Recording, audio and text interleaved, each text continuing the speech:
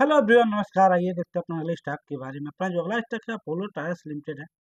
Apollo tyres limited की बात करें तो चौबीस रुपये पंचानवे पैसे गिरावट के साथ पाँच सौ पच्चीस रुपये अस्सी पैसे पे क्लोजिंग किया है।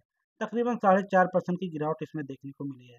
अब इसमें करना क्या है? अगर ऊपर से रजिस्टेंस की लाइन ड्रा करें तो यहाँ पे देखिए बार बार इसी लाइन का रजिस्टेंस लेके रिजेक्शन लेकर नीचे की तरफ़ आया। बार बार इसको टच किया यहाँ से नीचे आया। इस बार क्रॉस तो किया, बस सस्टेन नहीं किया और यहाँ से फिर नीचे की तरफ़ चला है और रही बात सपोर्ट की सपोर्ट देखिए, ये बहुत लंबे टाइम से इसी सपोर्ट लाइन का सपोर्ट लेके बार बार ऊपर की तरफ़ जा रहा है। यहाँ पे यहाँ से देख सकते हैं, ये बार बार इसी सपोर्ट लाइन का सपोर्ट लेके ऊपर की तरफ़ जा रहा है। और इसके बाद देखिए 200 डेज़ मूवी एवरेज का भी सपोर्ट लिया है। यहाँ पे देखिए स्टैंड लाइन का सपोर्ट लिया है।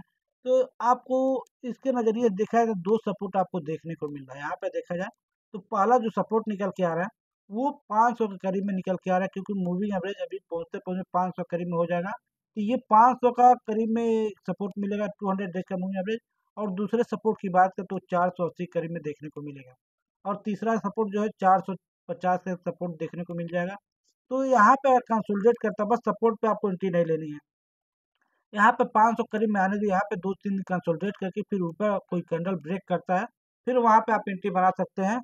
और अदरवाइज़ चार सौ अस्सी के पास में आता तो फिर चार सौ अस्सी पे आप एंट्री बना सकते हैं। बट अभी एंट्री बनाना कोई मतलब नहीं है। यहाँ पे एंट्री जैसे बनाते हैं और आपका एसल हिट होके फिर नीचे की तरफ़ चला आएगा और बाद में फिर आपको पछतावा होगा। तो आप पाँच सौ का और चार सौ अस्सी का वेट कीजिए। यहाँ पे आता तो आप एंट्री बनाकर दो चार रुपये का स्टाप लॉस रखेंगे तो बेटर स्टाप लॉस रहेगा। तो इसमें इतना ही। मिलता है अगले वीडियो प्लीज़ चैनल सब्सक्राइब कर दे। धन्यवाद।